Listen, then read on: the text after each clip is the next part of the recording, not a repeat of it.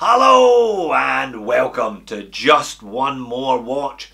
It's fair to say that I've had a bit of an on-off relationship with the Orient Bambino over the last three years. Indeed, the second video that I ever published to YouTube was about the Mark II black with rose gold Bambino that was very much the apple of my eye at the time. I thought it was gorgeous, especially when the lights were down a little lower than usual.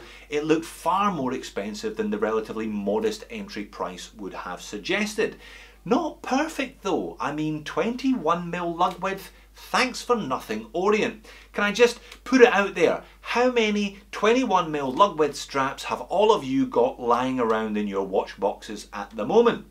I'll tell you how many I've got, zero. I do not own one watch strap for 21mm lugs. My advice at the time therefore was to pick the Bambino that you like the look of in terms of the dial and the strap combo because chances are you weren't going to be spending a lot more money on a cheap watch changing out that strap with the awkward strap width. Unfortunately I scratched that lovely piece of domed mineral crystal of my original Mark II Bambino Perhaps that's one of the reasons why I'm a sapphire only guy these days.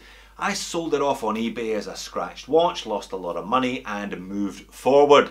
I decided to try again with one of the Mark IVs towards the end of last year. It was a colourway that I had been after, a grey dial with that suede strap and it looked fantastic. But the old girl had put on some beef since my last affair. She'd gone up to 42mm in diameter with a 22mm lug width. I felt that was just too big for a dress watch. Apparently Orient have been listening to some if not all of the community complaints about the Bambino and they've released a number of new models since that Mark IV and I'm going to show you the small second variant today. They also released a 37mm but they've labelled it as a ladies watch which I'm sure has killed it for many guys who would have considered it. Big shout out to my mate Ashley a firm friend and supporter of the channel. He's loaned me a number of pieces in the past and indeed he's loaned me this Bambino today. It's for sale. So if you're in Australia and you fancy this mint condition small second Bambino with a champagne dial, leave me a comment, leave me an offer of an Aussie dollar price including postage and I'll make sure that it gets to you. Alright, a better Bambino then. Let's flip the camera and find out. My goodness, I did some waffling in that intro, sorry about that. You get the idea though. Bought two, sold two. So that's the question today then. Is this Orient Bambino Small Seconds a better Bambino? Well, without ruining the rest of the 10 minute video, yes it is. I think this is definitely better than either of the two models that I've reviewed previously. Very, very attractive and let's be honest, not that expensive. These are between 150 and $160 on Amazon.com, depending on which of the five model variants you go for. I'll obviously leave a link to that one in the description of the video. Is it the best that this watch could be though? I'm not convinced. I think there are a couple of things that they have decided not to rectify when they've moved on to this newer small second model that I think they would be well to fix up in the future. There will be moans and there will be niggles later on. Now when I say new, I mean relatively new, new to me anyway. These have been out for almost two years, but sometimes I just take my sweet time getting around to reviewing these watches and that's certainly the case here. So all the usual review good stuff, we'll get some nice close-ups of the watch. I'm going to pop this one on the time grapher, first time I've had a Bambino on a time grapher. We'll get it on wrist inside and out and I'll I'll tell you the pros and the cons of the small second Bambino. So it's actually the same case shape and dimensions as the previous generation 1, 2 and 3. That means 40.5mm in diameter, just under 12.5mm thick, very compact 46mm lug tip to lug tip.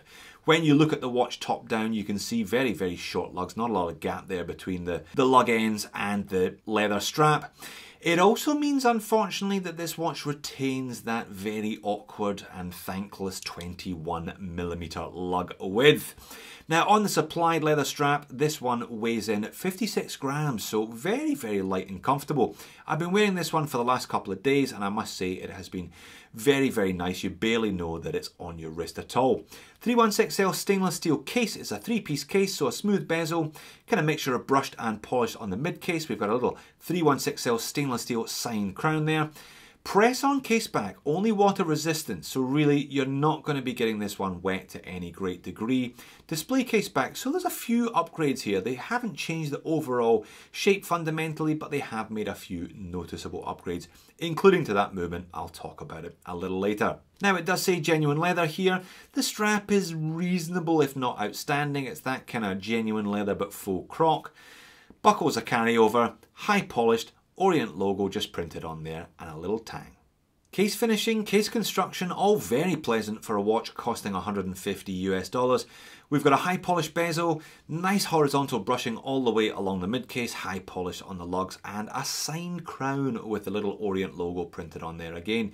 You don't get signed crowns on Seikos for 150, so it's nice to see it on their sister brand. You've already noticed, I'm sure, serious distortion coming off that. They call it a hardened mineral crystal, so you're not getting sapphire. I think the cheapest I've seen a piece of domed sapphire is about 250 US dollars, so the budget doesn't stretch to that one today. Like I said though, they do call it hardened, but I managed to scratch mine, so take from that what you will. Plenty of distortion though, especially when you get this one outside into some natural light, as I'll show you later but a very, very pretty dial. I think nothing says vintage quite like a small second sub dial there at the 6 o'clock. Reminds me very much of some Omega watches from the 1940s, 1950s. I'm guessing that's exactly what they were going for with the Arabics at the 12, 3, 6 and 9. Arrowhead indices everywhere else, those Dauphine hands and that small second sub dial ticking away there above the applied Arabic at 6. So applied Arabics at the 12, 3, 6 and 9. Applied kind of arrowhead indices everywhere else and those Dauphine hands as noted. However, they're tapered, so faceted in the middle but also tapered. Again, a nice little touch, a nice little design tweak they've made when this watch moved between the generations. We do have a printed minute track all the way around the outside edge and a date window chopped in there on the dial just inboard of the three little beveled edge a little kind of scallop there on that date window as well now this is the champagne dial version. I think this is the biggest of the sellers and you can see why. Silver case silver hands and indices but that nice champagne. Perhaps not as champagney if that is even a word as featured in the orient adverts for this watch but noticeably off-white anyway not much sunburst here, there is some sunburst effect on some of the other colourways, but you can barely notice it, if at all, on this champagne dial version. So the movement in this one is an F6222. This is the small second variant of the movement that features in all of these newer model Bambinos. And it's a big improvement on the old ones. The old ones were pretty rough. 24 jewels, hacking and hand winding. Now Orient have a stated accuracy on this one of minus 15 to plus 25. So as I said, I'll be interested to get it on the time grapher in just a second and see how this one performs. Not the most attractive movement in the world, to be honest, but for most people, this is uh, not going to be perhaps necessarily their first automatic watch, but maybe their second or their third, so no harm in putting a display case back on these ones. I don't think it's made this watch particularly noisy. Certainly noise was a complaint that I had about the old Bambino, but this one seems to be reasonably silent. Let's see if it's accurate. That's alright, eh? Plus 5 seconds, plus 7 seconds per day, very healthy amplitude zero beat error. That's kind of what you want from an everyday wear. It's okay, it's a little fast and a little slow because you'll end up a minute fast and being early for your meetings rather than a minute slow and being late for your meetings. And I think it looks gorgeous once you get it on wrist. I've got a 7 inch wrist for your reference. I know that 40.5 mil, a lot of people consider it to be too big for a dress watch because essentially this is a everyday slash dress watch. I see what they mean. You know, traditionally dress watches tend to be smaller. They're not big chunky divers, so they've been like 36, even 34 mil in diameter. I thought the 42 was too big for its purpose, 40.5, my 7 inch wrist, I think it could certainly go a couple of mil smaller than that, but I'm not going to complain about it too much. I don't think it's too big. I think this is still going to be perfectly wearable for the majority of people. Orient know what they're doing in that sense. 46 mil lug tip to lug tip helps a lot. And the proper overhead shot, still quite legible even under my studio lights. High polished hands and indexes, but they don't tend to attract too much light glare. They don't glint and glisten, you still get a good, fairly clean read from the dial. It's that piece of dome mineral crystal that does the light play. And there it is outside, you can see what I mean. You do really get some lovely distortions from the edges of the viewing angle and even when you're looking at the watch from top down it's still quite noticeable that that piece of crystal is fairly heavily domed. Anti-reflective coating, not at this price, I'm sorry, please look elsewhere if you want AR coating, but it's a dress watch, it's not really meant to be worn outside during the day in full sun, it's meant to be worn in the office or of an evening when you're at your piano recital, a little bit of Chopin or perhaps the ballet, whatever it is you get up to of an evening. So is the Orient Bambino Small Second going to be the watch to accompany me to the ballet the next time I am heading in that direction? Well, no, I don't think so. There are still two things stopping me from falling in love with the Bambino all over again.